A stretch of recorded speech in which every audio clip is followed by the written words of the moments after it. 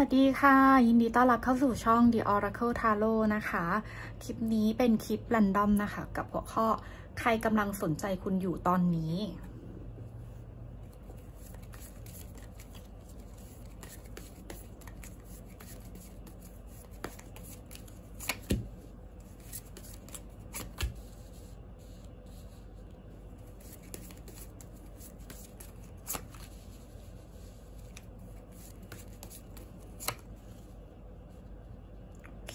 ลัคนาหรือราศีของคนคนนี้ มีกันมังกรพฤษภนะคะ แล้วก็มีมีน มีนกรกฎ เป็นคนที่เทียบพร้อมคนหนึ่งเลย รูปร่างหน้าตาดีการศึกษาชีวิตความเป็นอยู่ทัศนคติ คือเป็นคนที่โตในระดับหนึ่งแล้ว หมายถึงว่า ความคิดความอ่าน มีความเป็นผู้ใหญ่ มีความอบอุ่น มีความอ่อนโยนนะคะ มีความคิดในแบบที่คนโตแล้วอะ่ะอืมไม่ใช่ความคิดแบบเด็กๆ เป็นคนที่จิตใจดีนะคะ จิตใจดี แล้วก็ประสบความสำเร็จในชีวิตในขั้นหนึ่งแล้วอะ หรือบางคนอาจจะแบบหลายขั้นแล้วด้วยก็ได้นะคะ แต่แต่คืออย่างน้อยๆเลยอะ่ะก็คือต้องมีความประสบต้องมีการประสบความสำเร็จในชีวิต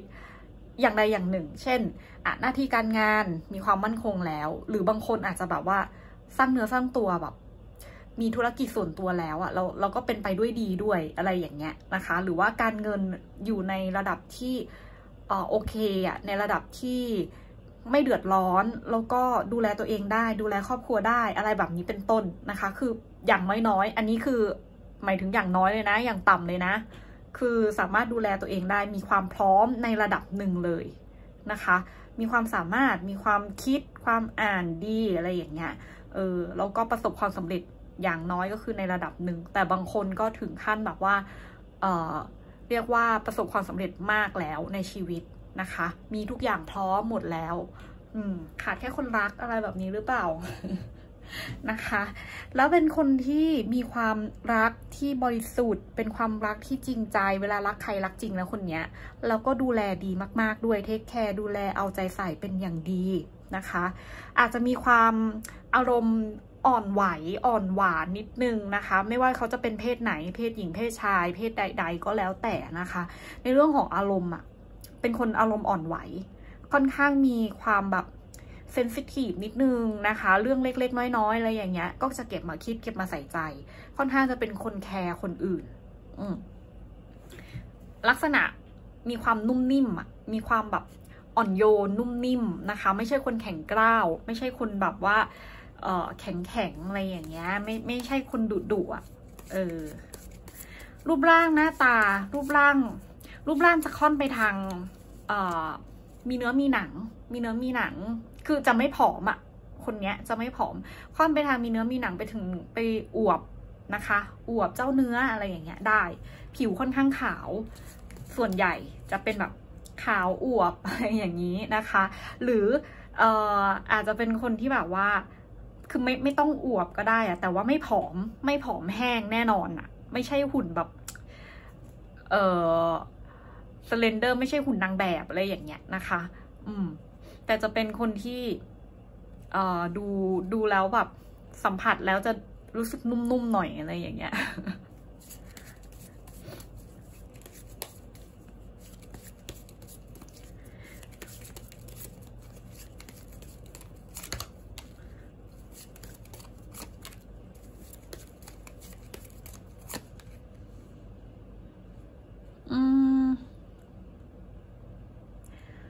คนนี้เนี่ย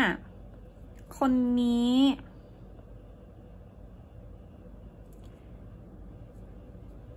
เขา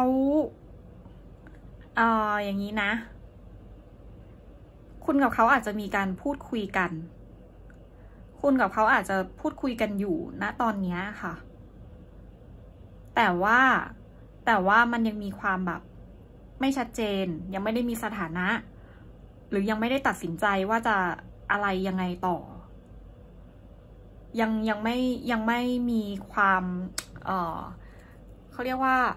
คือคือยังไม่ได้ยังไม่ได้คิดยังไม่ได้แพนไปถึงว่าอนาคตมันมันจะไปถึงไหนอะไรอย่างเงี้ยนะคะ น่าจะแบบเพิ่งคุยคุยกันหรือว่าเพิ่งเพิ่งรู้จักเพิ่ง เพิ่งคบหา เพิ่งเพิ่งมีการแบบทำความรู้จักพูดคุยอะไรอย่างเงี้ย แต่ไม่ได้มี ไม่ได้มีอะไรเคลือบแคลงแอบแฝงไม่ได้มีจุดประสงค์ร้ายหรือใด ๆนะคะ เพียงแต่ว่าความสัมพันธ์มันยังแบบ มันยังคุมเครืออยู่อะก็คือเขาเองอาจจะยังไม่มั่นใจเต็มร้อยว่า เออเขาชอบคุณหรือเปล่าอะไรเงี้ยอาจจะเป็นแค่ความรู้สึกสนใจนะคะเออสนใจอยากรู้จักอยากพูดคุยกับคนเนี้ยอยากทำความรู้จักกับคนนี้ให้มากขึ้น แต่ยังไม่รู้หรอกว่ามันจะไปที่ทางไหน บางทีอะขอคุยก่อน บางทีอาจจะแบบ เอ้ยคุยไปคุยมา กลายเป็นรู้สึกแบบเพื่อน คนนี้เอาไว้แบบเอาไว้เป็นเพื่อนนะคะ หรือว่าอะคุยไปคุยมาอ้ามันคลิกกันมันสปาร์กกันมากขึ้น อะไรอย่างเงี้ย มีจังหวะตกหลุมรักอะไรก็ว่าไป เขาก็อาจจะแบบอ่าจีบคุณหรือว่าไปในทิศทางแบบเป็นแฟนอะไรอย่างนี้ก็ได้ เพียงแต่ว่าณตอนเนี้ยยังยังไม่รู้ยังไม่ได้คิดนะคะ หรือว่าอาจจะยังแบบไม่ได้ตัดสินใจอะไรอย่างเงี้ย อืม เขาสนใจอะไรในตัวคุณ อืม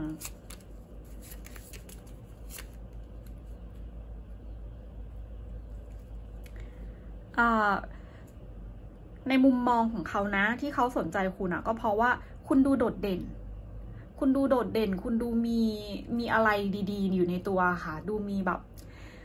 สปอตไลท์ฉายมาที่คุณ คือคุณอาจจะเป็นเป็นคนที่สวยหล่อ หรือแบบรูปร่างหน้าตาดูดีดูแบบเข้าตาเขาอะนะคะ เป็นคนมีเสน่ห์คนหนึ่งอะหรือบางคนอาจจะแบบความสามารถความสามารถโดดเด่น มีความเก่งอะไรอย่างเงี้ยทำให้เขารู้สึกสนใจคุณ อืมเรียกว่าเป็นคนในแบบที่เออเขาเพิ่งเคยเจอแล้วกัน เขาไม่เคยเจอคนแบบนี้ หรือไม่เคยแบบ คุกคีหรือมีทำความรู้จักกับคนแบบนี้ กับคนแบบอย่างคุณอะนะคะ คือคุณต้องมีคุณสมบัติโดดเด่นอะไรบางอย่างอะค่ะที่ที่ไปกระแทกตากระแทกใจเขาอะที่ทำให้เขารู้สึกสนใจนะ มันโดดเด่นกว่าคนอื่น ๆ ที่เขาแบบเออยังไม่เคยเจอแบบเนี้ยอ่าแล้วก็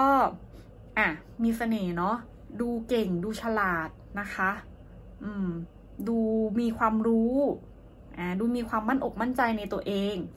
เนี่ยสิ่งเหล่านี้แหละที่ที่ทำให้เขาอะ่ะเออรู้สึกสนใจคุณอ้ออแล้วคุณก็ยังเป็นคนที่แบบเหมือนกับ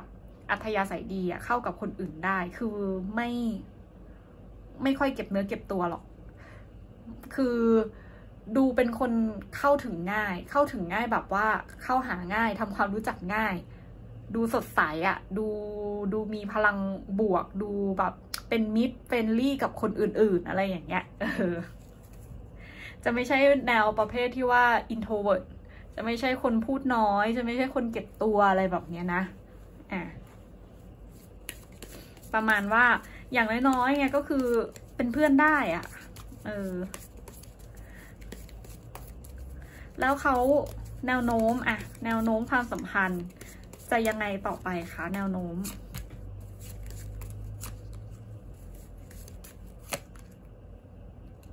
โอ เค ความสัมพันธ์นี้น่าสนใจนะ ดูน่าสนใจดีนะ คือ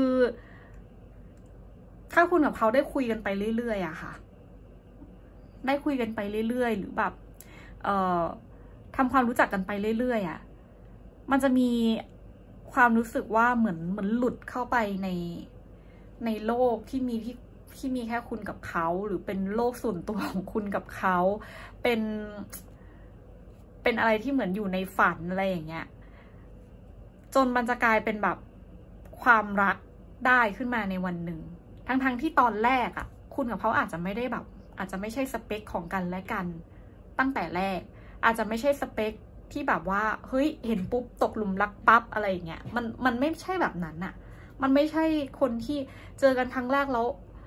love at first sight เลยอะแต่ว่า มันจะเป็นลักษณะที่ว่าอะพอค่อยๆคคุยกันไป เพราะว่าเนี่ยถ้าถ้าจากที่เราดูจากไพ่นะ ตอนเนี้ยที่เขาคุยกับคุณอะเขาเองก็ยังไม่ได้มั่นใจว่าจะยังไงอะไรต่อ แสดงว่ามันจะต้องมีจังหวะจังหวะหนึ่งที่คุณกับเขาสปาร์กกัน โดยที่ไม่ตั้งใจ โดยที่ไม่คาดคิด คุณเองก็ไม่ได้ชอบเขาขนาดนั้น แต่อยู่ๆแบบมันต้องมีอะไรสักอย่างไปสะกิดต่อมสะกิดใจคุณนะให้แบบรู้สึกว่าเฮ้ยคนนี้มันใช่อะ ชอบคนนี้จังเลยอะ มันจะแบบพลิกความรู้สึกไปเลย อืมพลิกความรู้สึกไปเลย กลายเป็นแบบหวานชื่น รื่นรมอะไรแบบนี้เลยนะคะ อืม โดยที่คุณกับเขาอะ ไม่ได้คาดคิดและไม่ทันตั้งตัวด้วย แล้วก็เป็นความรักที่ใจฟูได้นะ ดูแนวแบบเป็นเป็นแนวหวานชื่นนะคะ เป็นความรักที่ทำให้รู้สึกแบบ ฟรุ้งฟริ้งเหมือนอยู่ในทุ่งลาเวนเดอร์อะไรอย่างเงี้ยแบบโลกเป็นสีชมพูแบบนี้เลยอะเออ ความรักแบบนั้นนะคะช่ำๆหวานหวานๆช่ำๆอืม แนวนี้ โอเค ก็จบการอ่านไพ่แล้วนะคะ ขอบคุณที่ติดตามรับชมรับฟังกัน แล้วเดี๋ยวเจอกันใหม่ในคลิปถัดไปนะคะสำหรับคลิปนี้ สวัสดีค่ะ